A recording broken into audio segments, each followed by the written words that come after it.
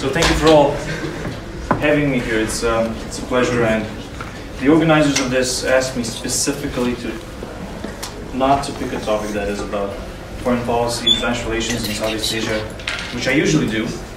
So I decided to go as far away as I can from from a foreign policy sort of view on things and uh, speak about life, right? So um, the sort of topic I picked my talk is um, what Southeast Asia and studying Southeast Asia taught me about knowledge, the unique, and the universal.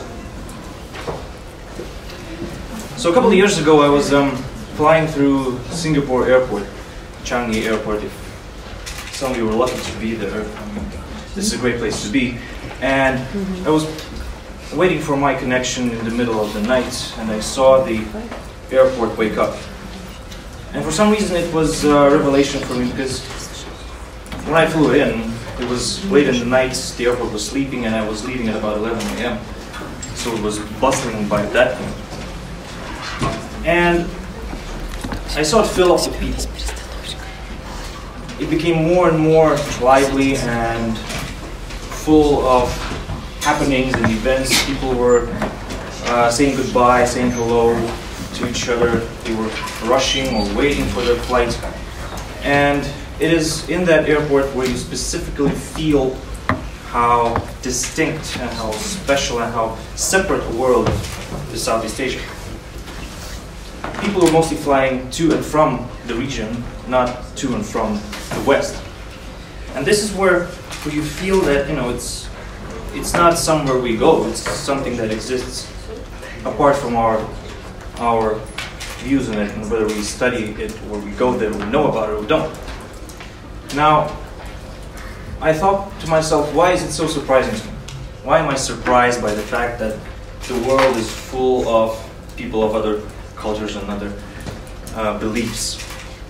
Now, ever since Edward Said published his famous Orientalism in 1978, people in the West have become at least more aware of the fallacies that exist when we study the East, the Orient, right? The way how international politics have developed, and I know I promised not to talk about politics, but I will a little bit, uh, happened to be that the East, for us Westerners, has always been a place where we come, which we study, where we fight wars, which we rob, which we uh, enslave and oppress. And this is how we study that.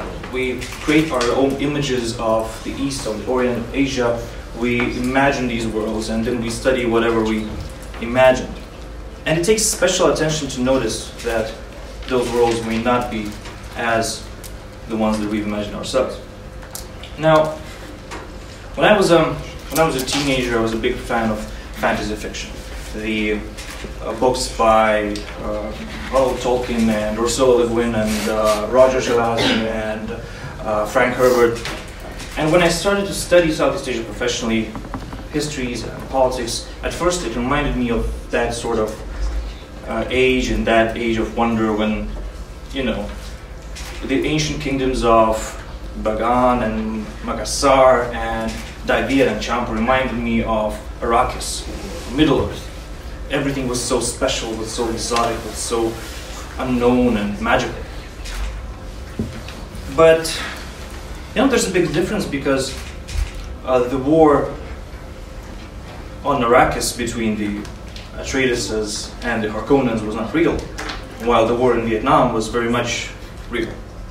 And this is a big difference that we have to face when we try to deal with our own images of, our constructed images of the East and of Southeast Asia in particular.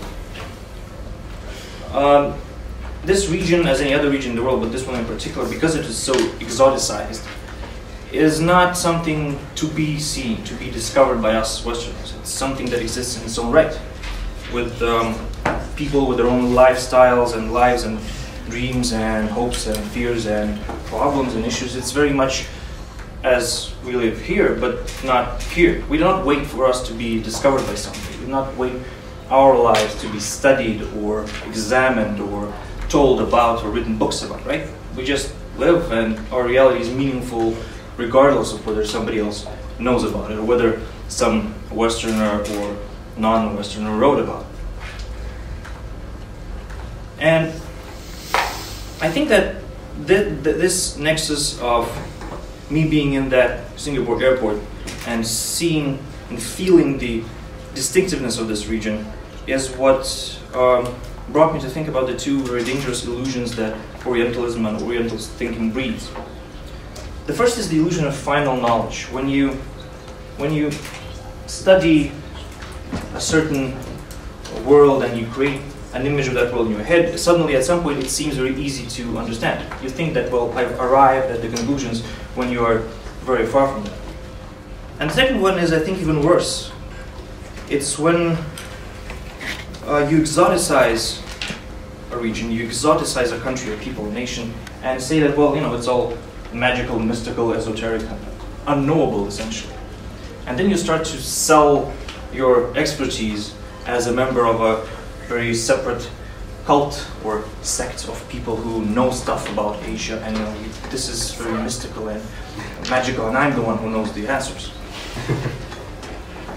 and always be aware of people who who emphasize the peculiar, the the unique, the unknowable, the exotic about anything, because that is how you hide the universal values that exist. Are there? Any people, any nation, any human being, everybody wants pretty much the same set of things. They want freedom from oppression, they want uh, dignity, they want prosperity, they want um, individual autonomy, and they, wa- they want purpose. And this is something that we tend to forget when we focus too much on how exotic and special the places we study are. And I think that Southeast Asia is a perfect place to study this balance between the unique and the universal. Um, it's manifest to the vitality of cultures in the face of economic global globalization. I mean, um, the anti-globalist argument goes that you know um, mass production, economic globalization, world trade, investment, multinational companies, they've all erased basically any sort of cultural dist distinctions. But I mean, if, even if you go to the most globalized cities of Southeast Asia, to Singapore or Kuala Lumpur, I mean, yes, there are skyscrapers and unmanned monorails and e-payment technologies we can dream of. But these places are still distinctively Malaysian or distinctively Singaporean, distinctively Southeast Asian. You feel, you can almost see the local culture kind of grow through, through the cracks in the concrete of economic globalization and westernization. So, I spent um, almost nine years of my life experiencing Southeast Asia because I grew up in Vietnam when I was a kid. And then I spent most of my student and professional years studying this part of the world. And I mean, I, I, still fail to distinguish the unique from the universal in Southeast Asia. I think there's no, there's no way of saying, well, this is special, this is universal. It's almost impossible. So be very careful. And the big lesson I learned is that, you know, because something looks familiar doesn't mean you know it. And because something looks very special doesn't mean it's unknowable. These two contradict each other, but you know, we're all used to be trained as in dialectics. We should sort of try to uh, hone that in and maybe tune into some of the um, dialectics that we used to be taught in universities like this.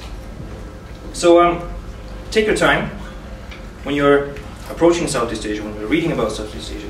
Take your time, be very attentive to detail, and approach it with an open heart and an open mind. And I think this way you will be, you'll find that this is an extremely interesting region to study and even a more amazing place to live in. Thank you very much.